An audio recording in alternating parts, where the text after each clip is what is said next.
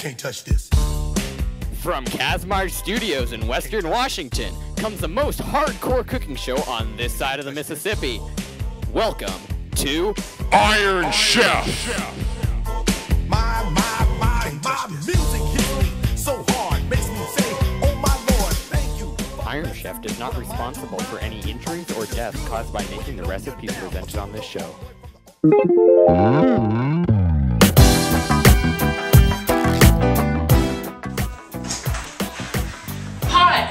My name is Miles Erickson. Welcome to Iron Chef. Today, our chef will be cooking an ancient Egyptian kebab recipe. Yum. Oh man.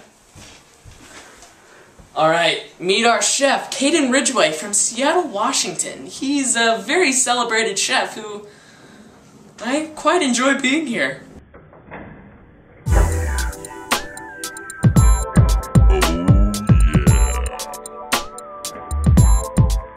Hello, beautiful audience. Today I will be making you a creation of mine that takes thousands of years to make. It has a very tricky recipe, and it's one of my greatest creations. That sounds wonderful, Caden. Alright, we ready to get started? We are. Alright, let's do this. First, you're going to take the board like this and place it here, like so.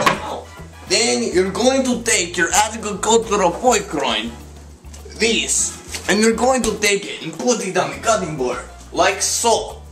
Then you are going to take uh, bread's this cold. knife and you're going to vigorously chop.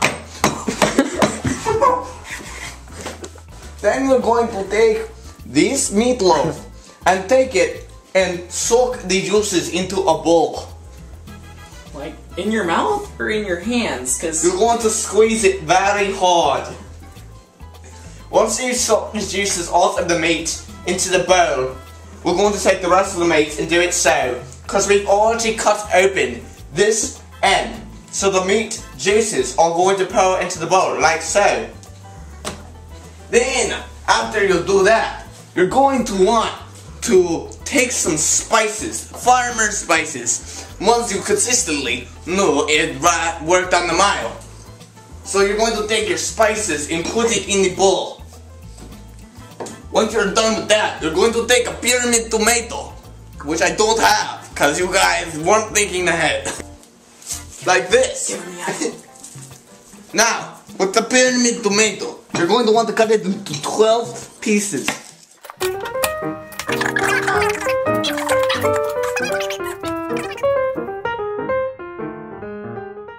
Cut it into pieces. You're going to take the tomato and you put it in the bowl. You're going to take the bowl and put it in a medium saucepan and put ingredients in it. Like said.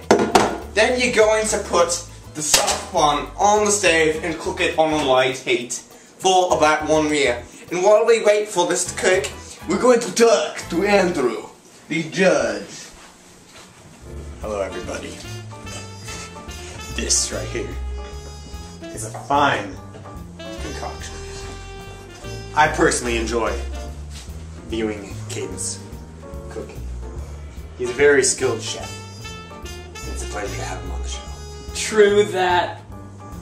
I can't wait to try this. Alright, now that you let it case, you're going to take this, and you, oh, this is very hot. And you're going to take some peppers, Peppers. like bell peppers. You're going to consist of one god pepper and one king pepper. Once you've taken the god pepper and the king pepper, you're going to take it onto a cutting board and slice it like so. Once you've sliced it in about eight pieces, you're going to take it and put it in the bowl that needs to be consistent on the juices. Because we're going to cook this, so we won't need, need to be clean. I gotta try some of that. Oh man, that's good. So once we've taken the peppers into the bowl, we're going to now want to add some light wine. Hypocrisy wine. It is one of my favorites. This is a wine fountain. It spills wine. We're going to take the wine and put it in the bowl. Now that it's placed, we're going to need another saucepan. like this. Going to take this concoction and put it in there. Now, while we let these cook, and you notice that it's changed the color, it's because the wine originally is a very bright white wine. And when it cooks, it turns a different color. But now we're going to take taking a little sea apple, and we're going to take it on the cutting board, and we're going to cut it into a sixth. So when I cut this, it's going to look very, very, very cut like this. And we're going to want to take papyrus sugar and place it on the apple to help it caramelize in the oven. Wow, that looks so good already. I need to taste some of this? It's very good indeed.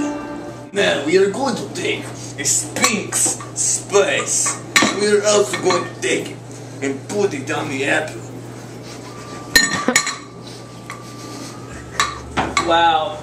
Looks like a big mess, but I'm sure it's delicious. Now we're going to take the apple and put it in its oven safe bowl.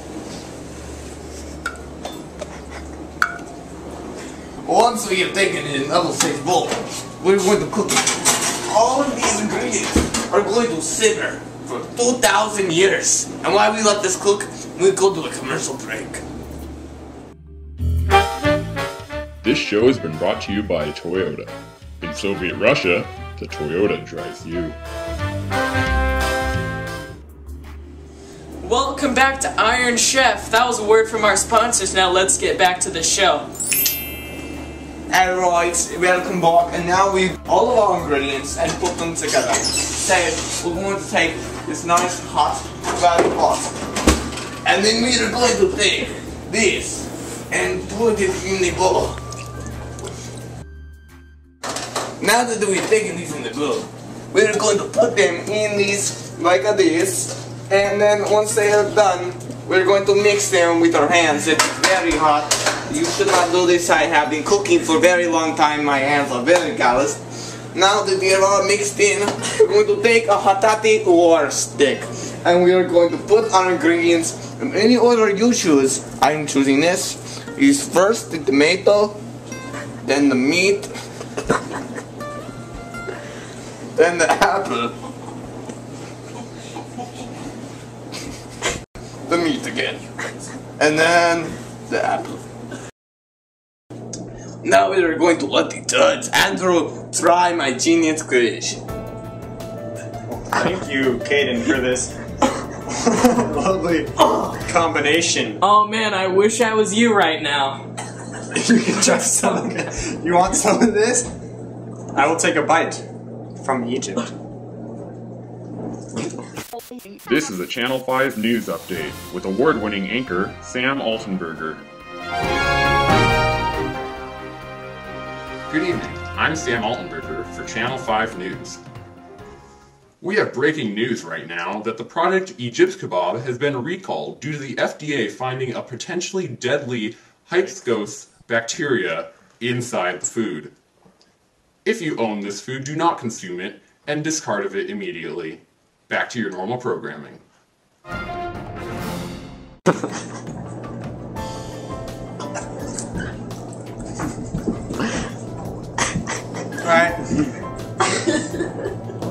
Egypt is very spicy.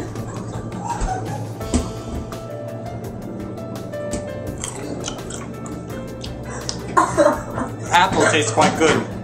Now I'll taste the pork. Oh my gosh. Oh my gosh. Oh my gosh. This is quite delicious.